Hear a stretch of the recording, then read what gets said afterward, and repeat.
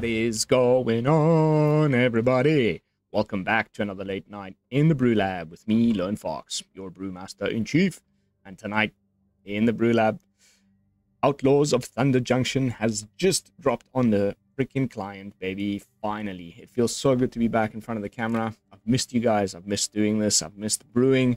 Uh, I've I've really enjoyed my break though. I needed a bit of time to recharge the old batteries and uh, now that the fresh set has arrived, including the big dump of big score stuff, there's just endless possibilities. I really, really, really love this time in, uh, in you know, whenever a new set drops, it's just, my mind just goes limitless possibilities. I almost feel a little bit paralyzed. It's just like, open the all this all the boosters you have so many new cards and it's just like oh my god where do i begin but last night when the set first dropped, I did uh, already brew up something like four kind of early version ones. Of course, I deleted everything, start with a fresh slate. I hardly watched any of the early access, so I, I haven't let any of that sort of influence where my brewing's going. And uh, initially, the first thing that came into my mind was like, look, we've got all of the new fast lands in uh, the enemy colors Golgari, Orzhov, Izzet, um, Boros, and Simic. So let's freaking build aggressively slanted decks that we were not able to build without these lands. That so that's going to be the next couple of videos. Of course, um, don't be surprised if the win rates aren't super fantastic because this is early days. We're here to test, test, test, test. That's what the Brew Lab is all about. We're here to test the cards so that you guys can then know whether they're worth your precious, precious wild cards and uh, we're gonna uh, be be going through some sort of early version ones, and then as the meta develops, we'll be refining these concepts, seeing whether they hold their ground in the meta, and discuss you know up, future upgrades, that kind of stuff. So. Um, for tonight, we're going to be looking at a Golgari aggro deck, which is now going to be much better than previous versions that I tried because of the new land. So, without further ado, let's jump into tonight's brew. Golgari Aggro. And the new land is Blooming Marsh. Uh, unfortunately, these are always rares. You know, Wizards loves to do this. So, you know, if if you're struggling on wild cards, but you like a specific color combination, I think your safe bet is to initially just go ahead and craft the rare lands. And then uh, that'll give you a, a, good, you know, initial template with which to then continue brewing uh, around these colors as the meta progresses. But uh, I've of course gone and I've got the whole set already, so uh, I'm going to be testing it all out for you. But uh, these are these are finally enabling this type of strategy a little bit more. Where I've tried Golgari Aggro recently, actually, in, on the channel, and uh, the fact that we didn't have this uh, made it really the mana just a lot worse. So it's it's mostly black with a little bit of a green splash, as you can tell from the spread here. We've got six and four, um, and uh, it's a commit crimes, plus one plus one counter synergies deck with a lot of new cards that I need to talk about. So we'll skip over some of the uh, older ones quite quickly. Cut down, evolve sleeper, Cenote scout, nothing crazy. We all know what these things do. Of course, uh, committing crimes is targeting any of your opponent's stuff, so cheap removal, fantastic. Um, and the main uh, payoff for committing these crimes is going to be Vadmir, New Blood, one of my favorites so far since I started playing with the new cards. You just put a plus one plus one counter whenever you commit a crime. And then when it gets to four or more, it gets menace and lifelink. And this ends up being really, really good for so many reasons, um, which we'll get to. And it's interesting that it's the same threshold as one of my uh, older, like, you know, black-based aggro. I've, I've, I've, put Ayara in uh, Rakdos aggro in the past, and Golgari aggro in the past. It also does a better thing when it gets to four or more. In the case of Ayara, it'll allow you to tutor up a card uh, in the case of Vadmir, the lifelink and menace. So um, finding ways to put plus one plus one counters on these guys quickly is the name of the game. And uh, we're going to be doing so by having Quirion die, which always happens. And then we put uh, Quirion's plus one plus one counters on those two. Uh, with Vadmir by committing crimes, which we have plenty of removal spells to do so with. And then we've also got the Proliferate, from uh, Bloaty Boy here, which also is a nice chunky body to get in front of Mono Red and whatnot. But then we've also got another fantastic new card, which happens to also be a mount. uh, the Ornery Tumblewagg. Uh, this card's going to go in a lot of decks for me. This is really, really fun. Uh, I can't wait to try it in, like, let's say, Golgari mounts. Maybe um, Abzan mounts. Selesnya mounts. Uh, or just Selesnya plus one plus one. Or just mono green aggro. Like, this is... I'm going to try this all over the place. It's a freaking fun little card. Uh, three mana very much like the uh, there's another there's a soldier that puts a plus one plus one counter. So beginning of uh, combat, you put a plus one plus one counter. The added upside on this one is that you can saddle it for two, which is very low saddle cost uh, considering what I've seen. Uh, you know, in the new cards, there's a lot higher saddle cost. It's quite a low one, and then when it attacks, if it's saddled, you can double the number of plus one plus one counters on a target creature. That's that's another great way to quickly get Vadmir where we want him to be. Um, yeah, I mean, that's the deck. There's only one new card left that I haven't talked about, and that is Rush of Dread. Of course, you've seen this already. It's making a bit of a scene because of the combination with the Aclazotz Vampire. This was even in my top 10 list. I will be trying that deck out. It's just it's already been done a lot by the content creators that got into early access. So I'm going to try and put my own spin on it in the next couple of days. Stay tuned for that. But it also just is a great little card um, in general even if you're not trying to go for the combo. Um, not only is it committing a crime, every mode on the spree is targeting the opponent's something, and uh, all of the modes are fine here. We want to like get rid of some of the blockers because we've got menacing threats or trampling threats. Does that. Or we want the opponent to discard some of his hand. Does that. Or we can get them to lose half of their life and then swing in with our creatures. Also phenomenal. So, um, eh, you know, and who knows, maybe we get to a situation with this deck, which is unlikely, but it can happen, where we go later into the game, and at that point we can do all of the things. Hell yeah. So, fantastic, fantastic card. And, um, but maybe the one that I'm a little bit on the fence about could be that we try some other thing here in the three drop slot. The other options that I tested in, uh, you know, previous iterations of this brew was the Honest Rutstain. Um, reduces the casting cost of creatures by one colorless, so pretty nice. And then you can bring something back from the graveyard, which is also synergizing quite nicely with our Bitter Triumph. So we're not having to pay the life, we discard something, and then the next turn we bring it back with the Rutstain. But maybe maybe ends up being better in sort of some sort of graveyard shenanigans deck alongside maybe Insidious Roots or whatnot. We'll, we'll again, it's early days. We're trying things out. I think that's enough talking, guys. And uh, without further ado, let us jump into some games and see how the deck holds up on the Mythic ladder. This is looking great. This is needs a bit of work. This is obviously just busted. Um, stay tuned. Stay tuned is all I can say. These next couple of weeks are going to be fun af. And like I said, if we lose a lot, I'm, I'm not too worried.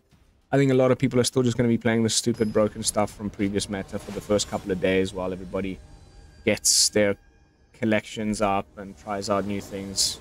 We're probably just going to be running into a lot of the usual suspects, unfortunately. Yeah, that's a mulligan. Wow, that sucks. Um,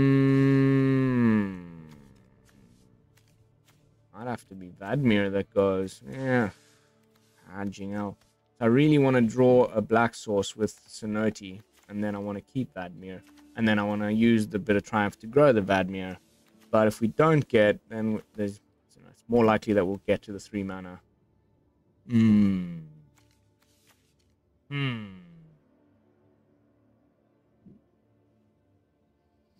Hmm. Yeah, yeah, yeah. No, it's my guy. No, it's my guy.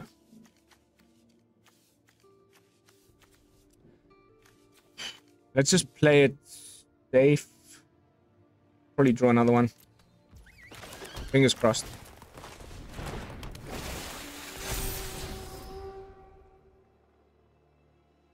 Okay. I mean, we got another chance to draw something else.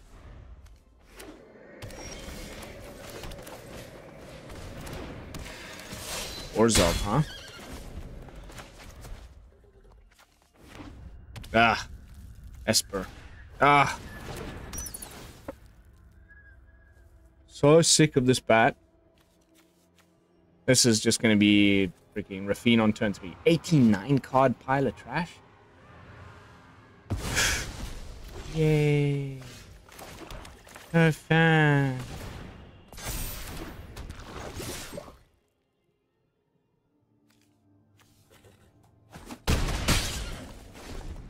Least we're being pretty aggressive as far as green is concerned. Ah. The old preacher. I think Ayara here is the better option.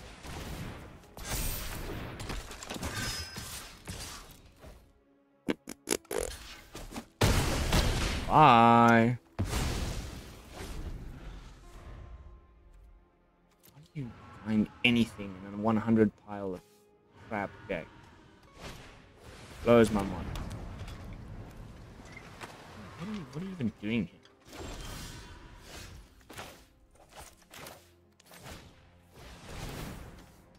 You can crew, right? So the only thing that can attack here is going to be you and you.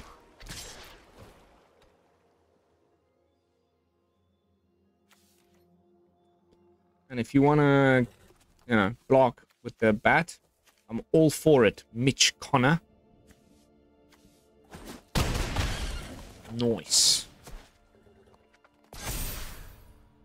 I love this card also. So sick. Severely underplayed. No one jams this. I really hope that Orzhov... this is gonna go right. Bye. it's gonna go right into my like Orzhov human aggro thing with the new Orzhov land, like very, very soon. human, black, aggressive. Cannot wait.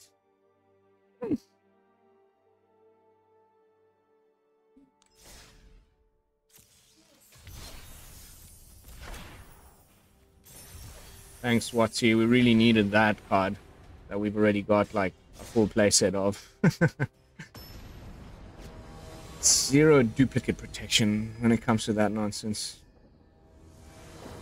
Why even give us that? Okay, okay. Eh, could be better. Could also be worse. Sleeper on one.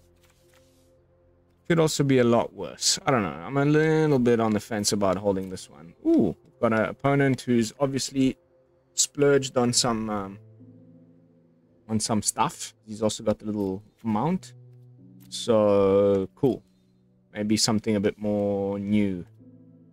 And it's not a 100 card pile of trash. So, let's go. This I haven't played enough of. I think it's actually pretty damn good. The fact that it can't be counted, it's going to be fantastic against, say, Raffine. Ooh, 100 mulligans. Hmm. All the Tumblewaggs.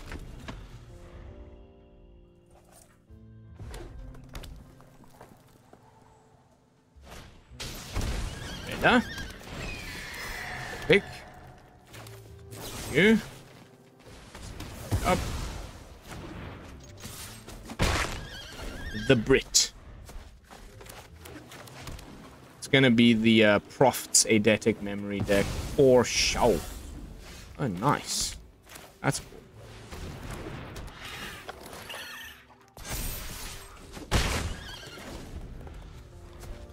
Double Bushwag next turn? Yeah. I guess Slickshot into Profts. Oh. Mark here, huh? Good Tumblewagg. Excellent for the team. But now he's to leave his Slickshot unprotected. Ooh, double Slickshot. Okay. That's going to flip this pretty quick. You're to go for it? Ooh, I don't know if I would have done that, maybe.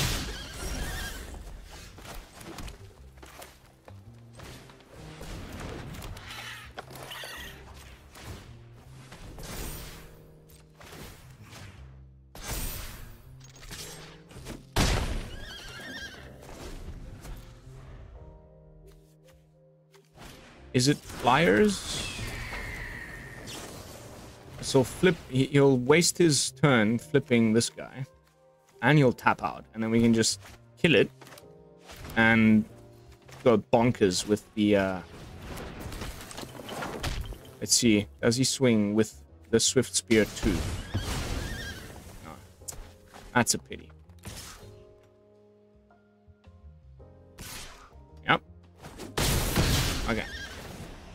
Probably we'll just uh, discard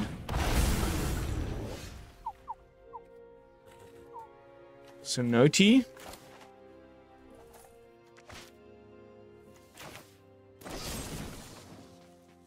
Nah, I'm gonna pay three life.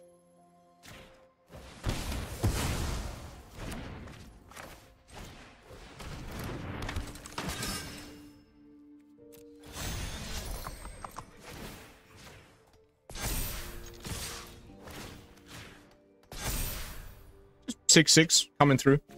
You know. And uh, you've got you're in top deck mode, and we've got another Tumblewagg coming through. So let's see what you can pull out of the hat here. It has to be something that draws cards. I think we've got this one in the bag. That's a big hit. Three six nine. Goes for it. Well, that's just game over immediately. What are you doing? What are you doing? Ah, yes some victories. I've needed them. The last couple of decks I tried were not so good. Uh, deleted them right away, of course. This is uh, a good showing of somebody who's trying out new stuff. Though I'm all for it. Slickshot is a ridiculously good card. This thing is so good. It's like the red version of um, Audacity, Menace, Trample. Draws card when it puts in a graveyard. Like, hell yeah. but we definitely got to showcase the Tumblewagg there to full potential. And we had a third one in hand. That was a fun match. On to the next one.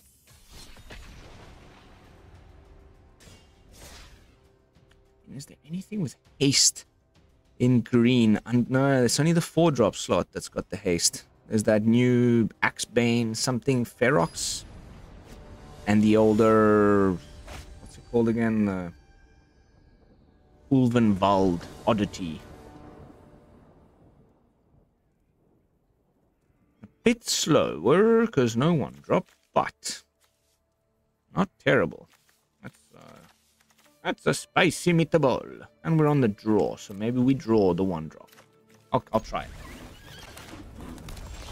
Aha! Third land for our Contaminator think on first, because it'll get counted. Or removed immediately. Full beams. That's what it's in the deck for, right? It's just a removal magnet. Uh, let's play another one. Counter spell. No.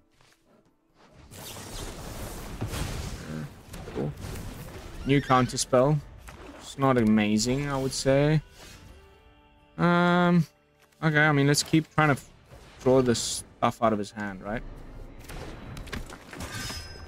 And then we'll, we'll put down some big guns. Oh, wow. That I was not expecting at all. We do have one copy of... Uh,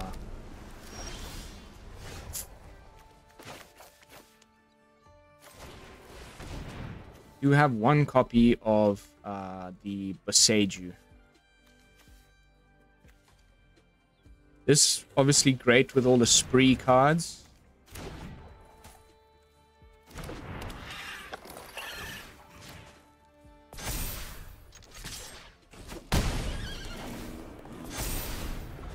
Because, uh, yeah, obvious reasons. Can't wait to try that. Gross. I'm terrified now.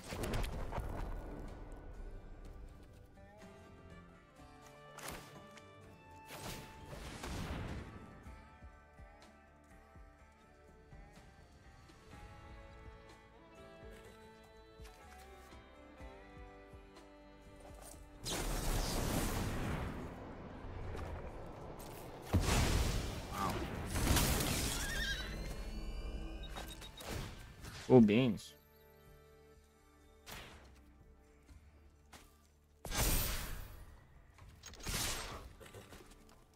I have a feeling there's a gonna be a sweeper in my life.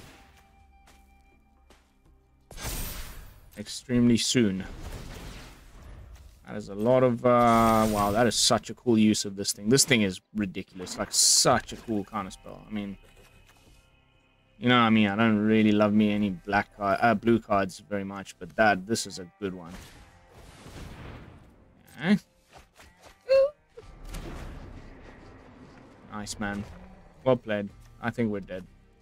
There's a chance. There's a slight chance. We may still have... Uh, you know, if he doesn't get rid of our creatures now...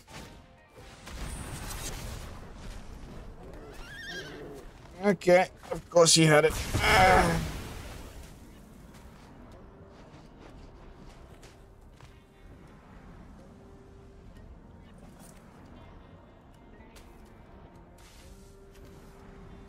Maybe Vadmir, maybe Ayara. I wonder what he'll pick. Ayara. I think we're just screwed. Like, major screwed. Double Mindsplices.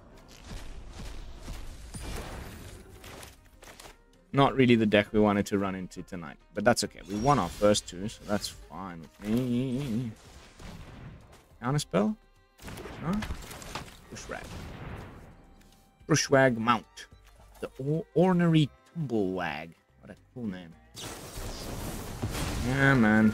Freaking hell, dude. Yeah, there's just no way we're going to get out of this one. I'm fairly certain we're just completely screwed at this point.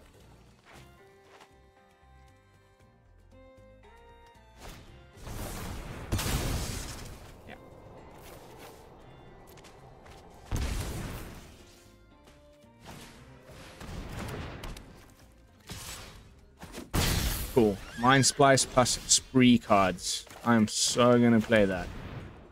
You also got a counter spell now for this? Like, please.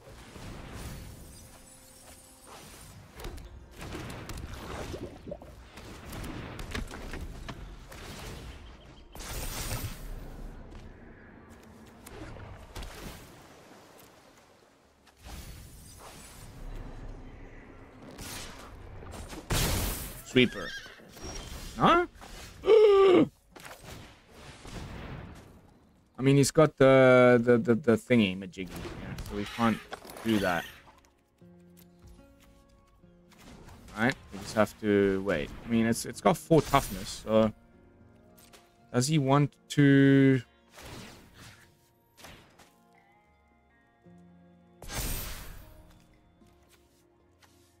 Trade? No. I mean, if he's clever, he'll use the demolition field to kill my demolition field. So that I can't kill his uh, reef.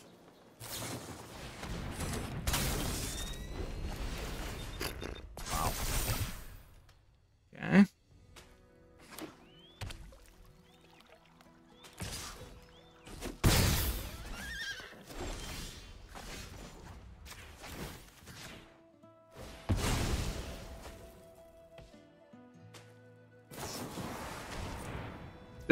Disgusting human being.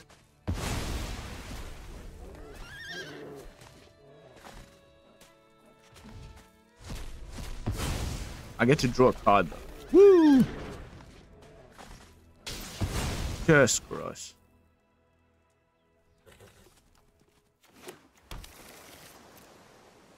Uh, green. Got that ready. Got another removal spell?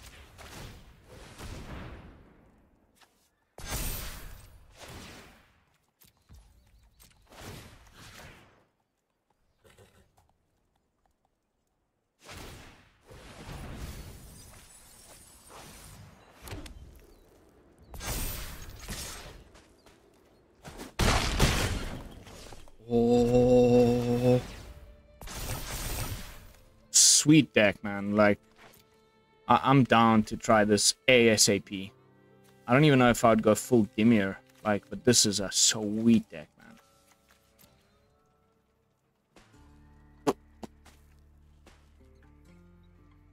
If he doesn't swing, it means we might just have this.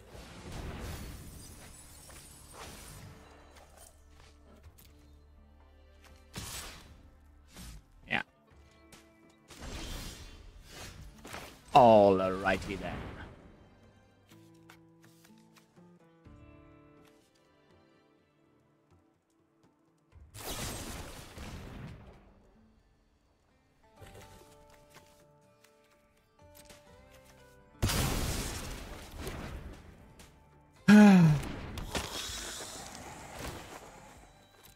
Giddy up, cowboy.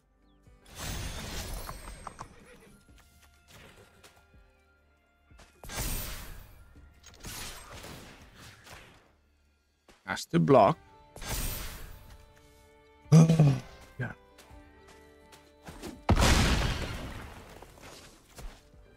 Removal tribal. Sure. Never. Wait, these just look nicer after the update. Such a fan of my beautiful Godzilla lands still. This is it. It's the moment of truth. Did you find another sweeper or not? It's as simple as that. Oh. Oh. Yes. Yes. Oh. Get freaking stuffed, mate. Oh, that was so nice. But cool idea, man. Like the fact that you can copy the splice with the spree card there. Ah, I like it. I like it a lot. I really, really do. That is a that is a cool, cool, cool, cool, cool interaction. And as you saw, the you know a lot of the additional costs in the spree cards are colorless. So, um, you know, cost reduction from the, the Mindsplice is going to make it really cool. Sure. Sucks with the pain lands, but that's okay. Another 80 card pile of trash. What's going on tonight? People, don't do this. It's not a good way to play Magic. The only excuse you have, I've said this before, I'll say it again, is if you're playing uh, some kind of a... Oh, City! Playing some kind of, um, what's his name? Playing some kind of a, um, Yorion deck. Then I'll accept it. Angel? Is this just freaking, what's his face? Domain again? Ugh. Good. Amazing. Off you go. Bye. No ramp for you. Get stuffed.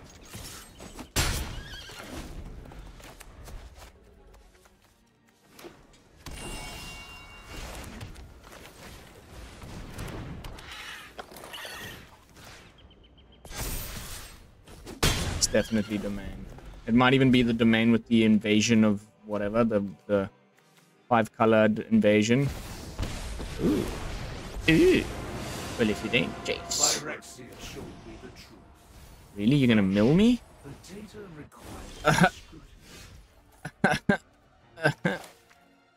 Why, thank you.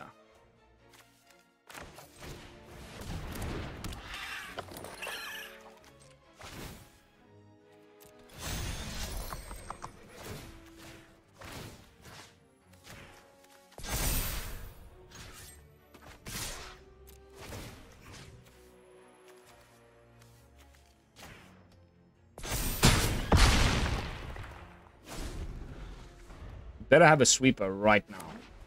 Watch him have it, though. It's going to be Depop in my face. Okay. That works. Let's give him the preemptory nice. Even though we know. Let's do it. Let's do it off.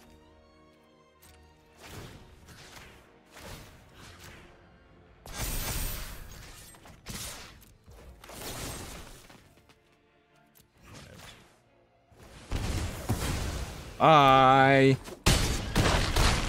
don't play 80 card piles, people. Please, just don't do it. Happy. Happy Brewmaster. 30 minutes in. I'm going to keep these ones a little shorter because now I want to record another one right away. I want to gather up some good recording now that the, the brewing is fresh and early on in the meta. So uh, we're going to leave it at that. Uh, jumping back into the deck with some final thoughts and overall review. Love it. Love it, love it, love it. Love the Tumblewagg. Love the Vadmir. Uh, you know, what, what more can I say? They're like, this set is so sick. And the fact that we got, I mean, I'm so happy they completed the cycle. We get to finally, I mean, even three color combinations that were a bit of a problem, we can we can tinker with now in more sort of aggressively slanted, mid-rangey aggro. Gonna be possibility. Jeskai suddenly, like, but in a not control deck, but like a more creature-based deck, suddenly just becomes completely more viable. Like this, this uh, cycle of lands is gonna enable a lot more brewing, and that is obviously a great thing for me. Key takeaways uh, Vadmir, we didn't really get to see him pop off, but I can imagine this going pretty nicely in some sort of like just again vampire tribal deck of some sort, uh, committing crimey type of a deck of some sort. Uh, I wish we'd seen him pop off. I had a few matches last night where he was like an 11-11, which is like doubling up the counters with Tumblewagg and swinging in with Menace and Lifelink gaining back the life that we lost from having to cast of Triumph without wanting to discard things, or you know the the life that we'd lost from drawing cards of Sleeper, and then oh you just gain it all back with Vadmir. It's really really cool. Um, I think we we did a good showing. Maybe a little bit of luck there against those more controlling decks, but you know it is a luck based game after all. And um, like I said, there's a few things here that we could have tried instead of certain other things. Maybe Glissa, maybe Rustine. Uh, you know, maybe in a best of three deck, you'd play some Tear Asunders if you're running into somebody with artifacts or enchantments. This, uh, uh, you know, the Cenote Scout here, or maybe even the Sleeper, could have been the new Tinybones guy, because that commits crimes. Get some stuff back from the opponent's graveyard. Yeah, there's options. We're going to continue to refine this archetype. I love Golgari aggro, and um, I don't think this is by any means the final iteration, but definitely a good initial uh, version. So I hope you guys enjoyed it. Of course, as always, if you did, consider leaving a thumbs up, subscribing to the channel, uh, leave comments down below, share the video around. All of those things really help me out, especially now that the algorithm has been unfed for a few weeks while I took my break. I need to rev things up again a little bit. So I'll much appreciate all of those things. They're free and easy to do and uh, make your brewmaster happy chappy. But that is going to be it for this one. I'll be seeing you all in the next one with another fresh, fresh brew. And until then, this is Lone Fox from the Brew Lab signing out. Peace, y'all.